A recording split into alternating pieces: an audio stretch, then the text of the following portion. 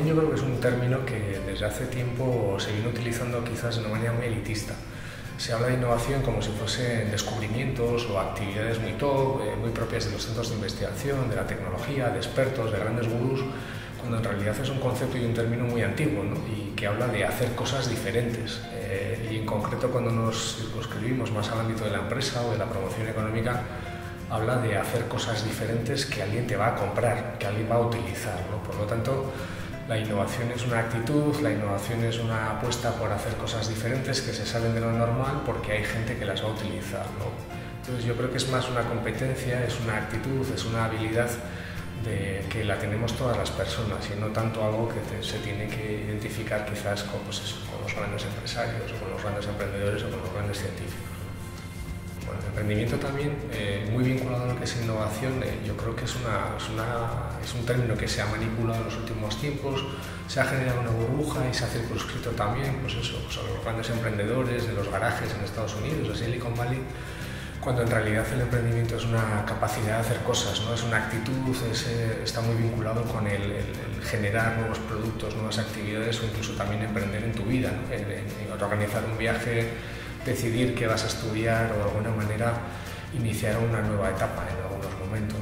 Por lo tanto, es una capacidad de hacer cosas que está absolutamente vinculada a la innovación, por tanto, que incluye todo un proceso de pensamiento, de trabajo y de alguna manera de asumir riesgos y que, y que creo también que es propio de todas las personas. Todo el mundo podemos emprender en muchos ámbitos de la vida, aunque en estos momentos pues, se ha circunscrito mucho a un ámbito casi eh, de reconocimiento social. ¿no? Es decir, hay que emprender, hay que crear empresas, cuando es algo realmente complejo. ¿no? Yo creo que precisamente ahí, eh, el otro día estábamos en, una, en un evento en, en, en en el, vinculado al foro de emprendedores, ¿no? y se hablaba del emprendimiento, ¿no? pues de esas startups, de, de esos emprendedores que tenemos que apoyar y yo estoy absolutamente de acuerdo en que tenemos que ofrecer soluciones a la gente que quiere emprender, que necesita vivir y comer y que, bueno, a los cuales hay que apoyarles, ¿no? desde las instituciones y otras entidades, por supuesto. Pero, pero insisto, emprender es algo más. ¿no? Emprender es tener la capacidad de tomar decisiones, de, de, decidir qué quieres hacer, de ponerte a hacerlo y de asumir que puede fallar. ¿no? Entonces, yo creo que emprender es algo que todos tenemos que hacer en muchos momentos de nuestra vida. Si lo llevamos al plano de la empresa, a mí me parece, una, eh, me parece algo muy meritorio. Yo no soy emprendedor y hablo de emprendimiento. Procuro hacerlo con respeto porque emprender es asumir que vas a iniciar una actividad económica que puede fallar, que se puede llevar por delante tu patrimonio, tus relaciones eh, y que de alguna manera yo creo que en los últimos tiempos se ha banalizado.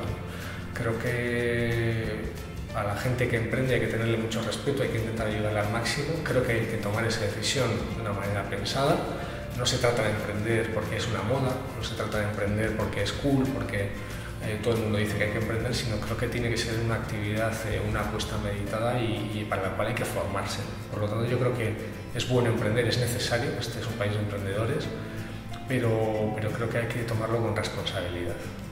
Bueno, yo creo que para qué innovar, para sobrevivir. En este momento de nuestra historia, en este contexto socioeconómico, estamos afrontando retos muy, muy, muy complejos, ¿no? Y, y, no solamente a nivel global, sino también a nivel local, ¿no? El envejecimiento, la caída de la natalidad, eh, toda la disrupción tecnológica que se está produciendo, ¿no? Nos va a transformar, nos está transformando la manera de vivir, la manera de relacionarnos. La tecnología ha llegado para quedarse y va a ser todavía mucho más acelerado el proceso de cambio y yo creo que nos plantea retos a todos los niveles, eh, desde cómo nos relacionamos, cómo compramos, cómo consumimos, eh, cómo trabajamos, todo eso nos plantea un montón de retos y desde luego no hay otra manera de afrontar lo que es sino a través de la innovación. Innovación no solamente en productos, eh, innovación también en procesos. Eh, vamos a trabajar con gente muy diferente de otros países, que habla idiomas diferentes, vamos a estar conectados en remoto, vamos a tener que trabajar con productos muy sofisticados para responder a, problemas muy sofisticados y eso requiere cambiar nuestra manera de pensar. ¿no? Y, y, eso es innovar al final, es generar nuevas respuestas a problemas desde procesos diferentes. ¿no? Entonces, me parece que es fundamental el que tengamos incorporado ya esa necesidad de poder eh, afrontar los, los, problemas y los retos desde una apuesta de innovación.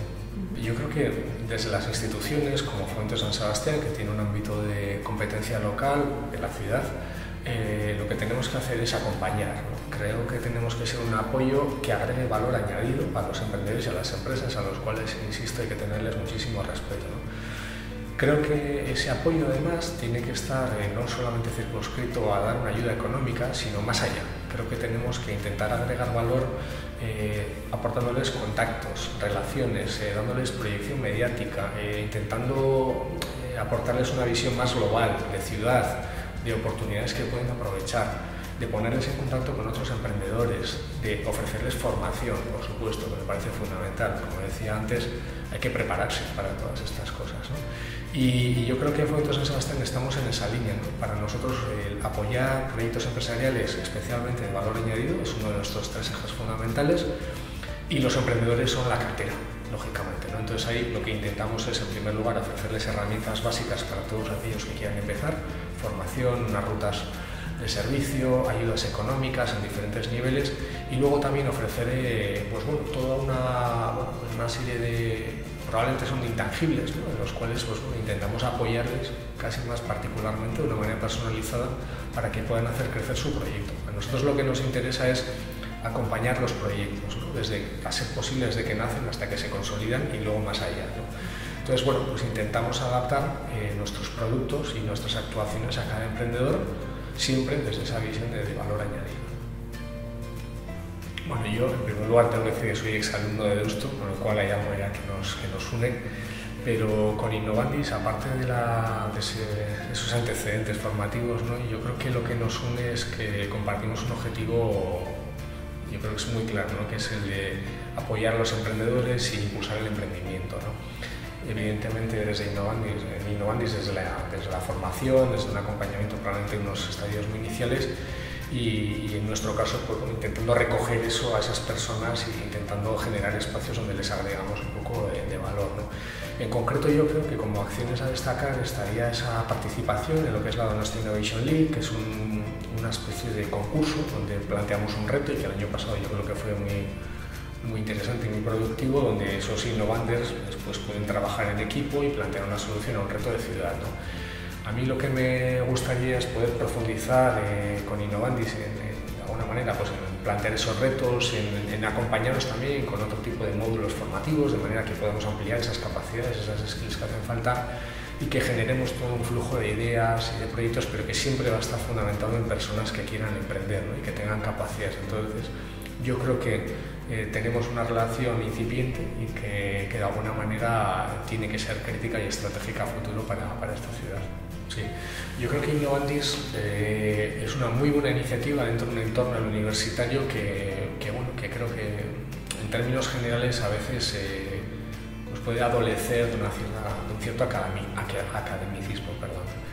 Eh, creo que es muy importante que antes de llegar al mercado laboral, antes de trabajar en una empresa o antes de emprender de una manera profesional en la universidad, pero también en los centros de efectivo, en los propios colegios, sensibilicemos, eh, demos herramientas para que los jóvenes puedan pues bueno, aclararse, puedan formarse, puedan decidir libremente y puedan bueno, pues ir con más herramientas y con más posibilidades al, mercado. ¿no? Yo creo que Innovandis, eh, desde lo que yo conozco, trata de formar a esas personas, trata de aportarles una visión de mercado que es muy importante para un emprendedor, la realidad de lo que pasa. Es muy fácil hablar de, lo, guay que es emprender o de, bueno, pues de todos esos emprendedores de éxito, muy relativo en muchas ocasiones, pero yo creo que es bueno que desde la propia universidad ya se plantee qué es emprender de verdad, que tienes que generar un producto, que tiene que haber un usuario, que tienes que cobrar, que tienes que, que vender, que tienes que a veces cambiar tu idea inicial. ¿no? Entonces, a mí me parece muy positivo que en la propia universidad seamos capaces de ofrecer ese baño de realidad y de alguna manera conectarlo con el mundo real y el mundo real también son las instituciones públicas, ¿no? que, que de alguna manera estamos participando en ese ecosistema. Yo creo que, como decía al principio, ¿no? emprender es mucho más que crear una empresa, emprender es una manera de, ¿no? o sea, tienes que tomar decisiones, tienes que de alguna manera eh, trabajar en proyectos durante toda tu vida, algunos no te das cuenta, pero, están ahí, proyectos en tu casa, proyectos con tu familia, eh, proyectos de ocio, bueno, yo creo que tienes múltiples facetas en la vida que la cual tienes que emprender, ¿no? y ahí hacen falta una serie de capacidades, ¿no? tienes que aprender a diseñar, tienes que aprender a trabajar con otros, tienes que aprender a definir tu producto, qué es lo que quieres, aclarar tus objetivos, hacer tus cuentas. Yo creo que formarse para eso es fundamental, pero no para montar una empresa, es para la vida, es una actitud y una capacitación para la vida. Por lo tanto, creo que la etapa formativa, el ámbito educativo es el más crítico en el que tendríamos que trabajar si queremos tener una sociedad emprendedora y por lo tanto me parece absolutamente necesario y, y positivo.